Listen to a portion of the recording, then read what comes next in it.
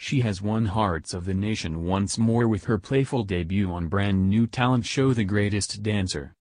So Cheryl fans will be delighted to see the stunner taking the next steps in her coaching role alongside Matthew Morrison and Oti Mabuse as they whittle down their final selections following the early heats of the show.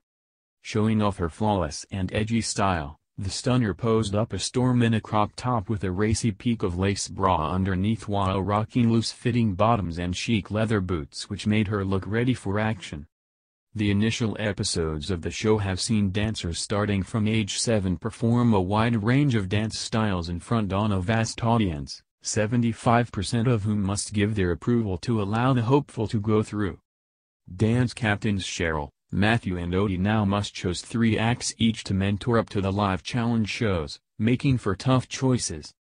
For the next stage in the show, Cheryl looked incredible in her stylish look which boasted a loose-fitting crop with a pink bralette underneath.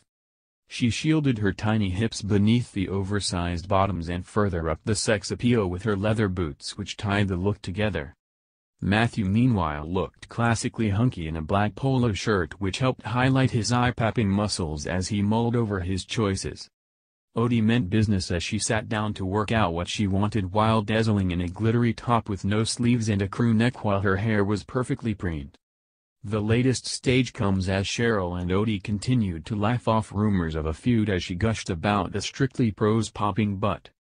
The gorgeous songstress replied to a tweet posted by Oti saying how much she loved being on the show with her, leading Cheryl to lament that she wanted the interview to be longer. This came after it was reported that Cheryl and Oti were at odds backstage on The Greatest Dancer as she viewed herself as the bigger star, though these claims have been strongly denied by both parties. Minutes after they finished filming, Oti took to Twitter to write, that was such a nice show. Loved being my Cheryl official and thank you Alex and Matt for having us.